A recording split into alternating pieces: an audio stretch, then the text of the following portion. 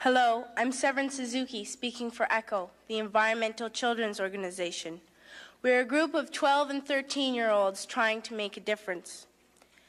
Vanessa Suttie, Morgan Geisler, Michelle Quigg, and me. We've raised all the money to come here ourselves, to come 5,000 miles to tell you adults you must change your ways. Coming up here today, I have no hidden agenda. I am fighting for my future. Losing my future is not like losing an election or a few points on the stock market. I am here to speak for all generations to come. I am here to speak, speak on behalf of the starving children around the world whose cries go unheard. I am here to speak for the countless animals dying across this planet because they have nowhere left to go. I am afraid to go out in the sun now because of the holes in our ozone. I am afraid to breathe the air because I don't know what chemicals are in it.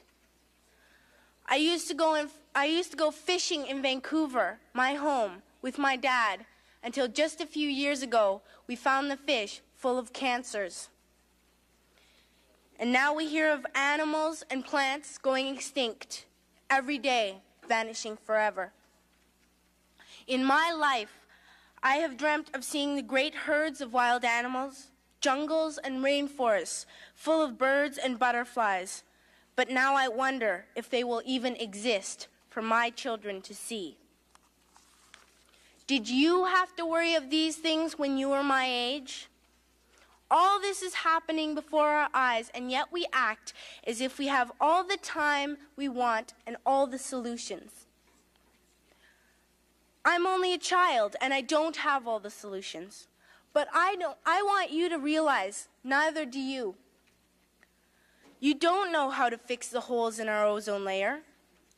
You don't know how to bring the salmon back up in a dead stream. You don't know how to bring back an animal now extinct. And you can't bring back the forest that once grew where there is now a desert. If you don't know how to fix it, please Stop breaking it. Here, you may be delegates of your government, business people, organizers, reporters, or politicians, but really, your mothers and fathers, sisters and brothers, aunts and uncles, and all of you are someone's child. I'm only a child, yet I know we are all part of a family. 5 billion strong. In fact, 30 million species strong. And borders and governments will never change that.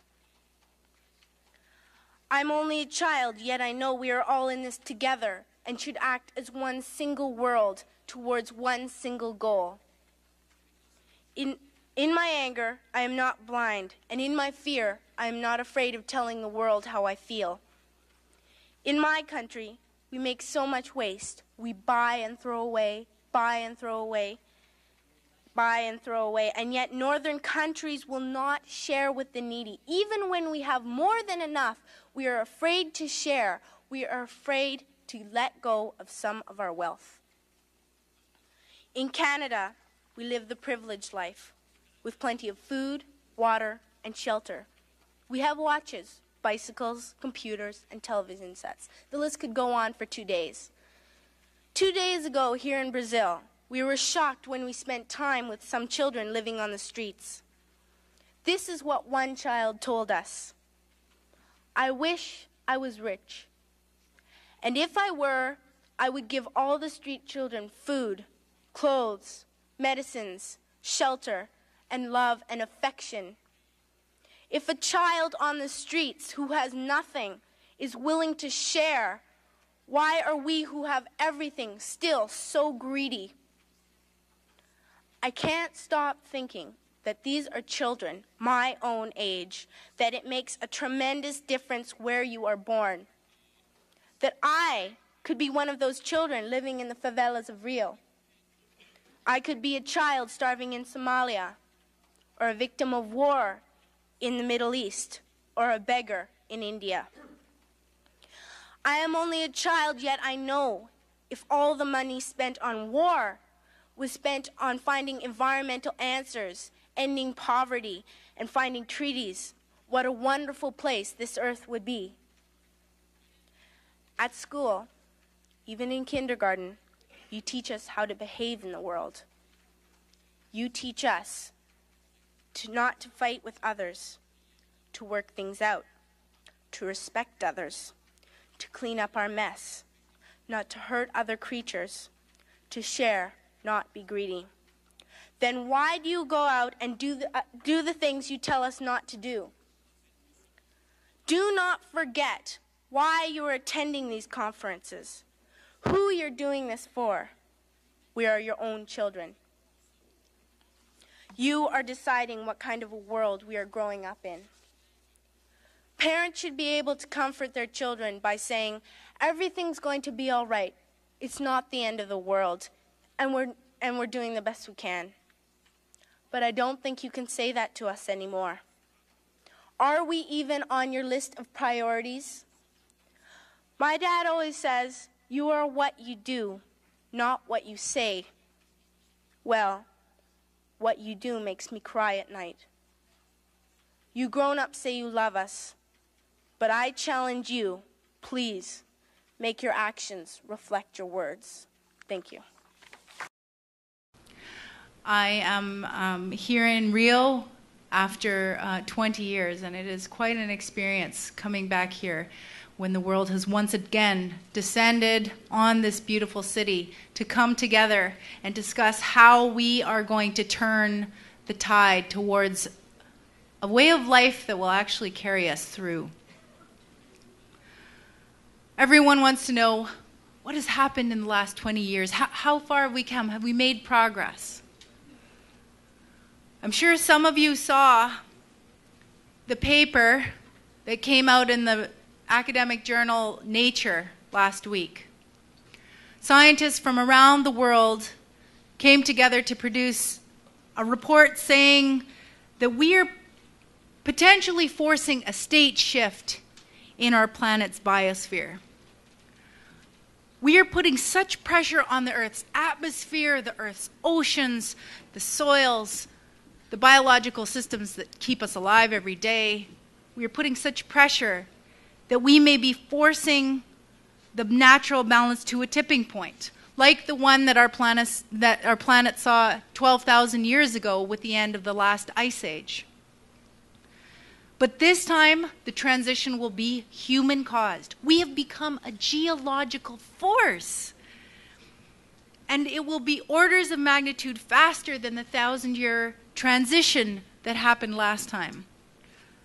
This transition, the scientists say, and the new stable ecostate will not be comfortable for humans.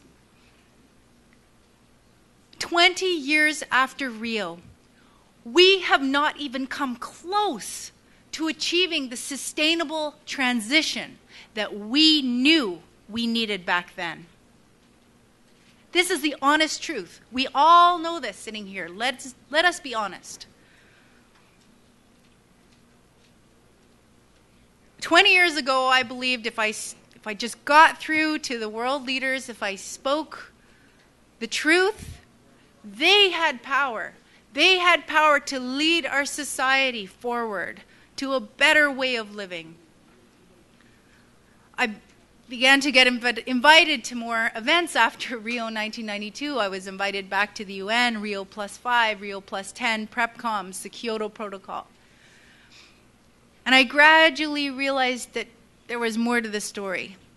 I gradually realized that citizens needed to engage, that the grassroots was where we could really see the solutions, where we could actually find answers, relocalizing, looking to our own communities. We had to get in there. Couldn't wait for our leaders to do it for us. And now, 20 years have gone by. I've dedicated my life to this cause like many of you. I see many familiar faces. I'm, I'm glad to see after so long. 20 years after Rio, the citizen engagement hasn't been enough to filter through to shift the, shift the tide. Though our ecosystems continue to decline in a tailspin terrifying to any biologist, the growth of the economy, the success of our current economy, remains the foremost for politicians and the institutions clinging to power. And the collusion between our governments and corporations that we have seen rise in the last 20 years is enough to make anyone of my generation totally cynical. Concerned citizens and activists and youth engage. We speak up on local issues, on global issues. We organize and we volunteer and we put our money and we put our energy in good faith that our voices do matter. This is what I've believed for the last 20 years of my life. My voice matters. But it is clear that the current global meta strategy is to turn everything from nature into profit at a rate and at a scale that dwarfs its opposition.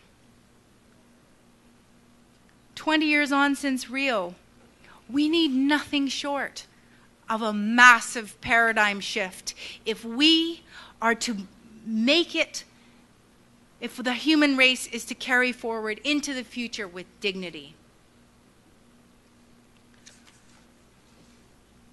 Today it's 2012. I'm a veteran environmentalist at age 32. I've committed my last 20 years to trying to influence societal transformation to a way of life that will actually support intergenerational justice. And intergenerational justice is what we are really talking about when we talk about sustainable development. Stopping the intergenerational crimes that we are per perpetrating towards current and future human beings who will have to deal with climate change and deal with these legacies. I've done a lot of things in 20 years. I've grown up a lot. But those six minutes speaking to the UN 20 years ago, two decades ago, remains the most powerful thing I have ever done, the most strongest thing I have done in my life to, to, affect, to affect people.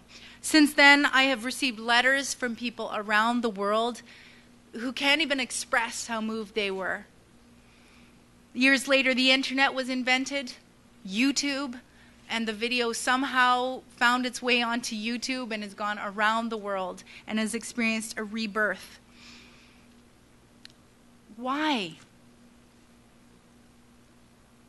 I think that this phenomenon shows that the world is hungry for this message, that we are desperate to hear someone speak the truth speak this message, we need someone to cut through all of the rationalization that we have built up for the destruction of our planet.